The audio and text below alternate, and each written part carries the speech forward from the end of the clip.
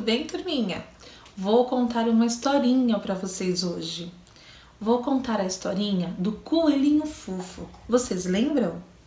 Vamos lá? Coelhinho fofo pulando na floresta, agarrou os três ratinhos e, cheio de beijinhos, apareceu a fada madrinha e disse: Coelhinho fofo, não faça mais isso. Pode até beijar, mas cuidado para não machucar. Eu vou te dar três chances. Se você não se comportar, vou te transformar em um patinho. No dia seguinte, coelhinho fofo pulando na floresta, agarrou os três ratinhos e, cheio de beijinhos, apareceu a fada madrinha e disse: Coelhinho fofo, não faça mais isso. Pode até beijar, mas cuidado para não machucar.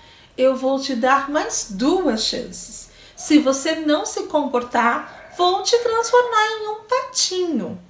No dia seguinte, coelhinho fofo pulando na floresta, agarrou os três ratinhos e, cheio de beijinhos, apareceu a fada madrinha e disse: Coelhinho fofo, não faça mais isso. Pode até beijar, mas cuidado para não machucar. Eu vou te dar mais uma chance. Se você não se comportar, vou te transformar em um patinho. No dia seguinte, coelhinho fofo pulando na floresta, agarrou os três ratinhos e, cheio de beijinho, apareceu a fada madrinha e disse: Coelhinho fofo, não faça mais isso. Pode até beijar, mas cuidado para não machucar. Eu te dei três chances e você não se comportou e nem obedeceu. Vou te transformar em um patinho. Plim! Transformou o coelhinho fofo em um patinho, porque ele não se comportou e nem obedeceu.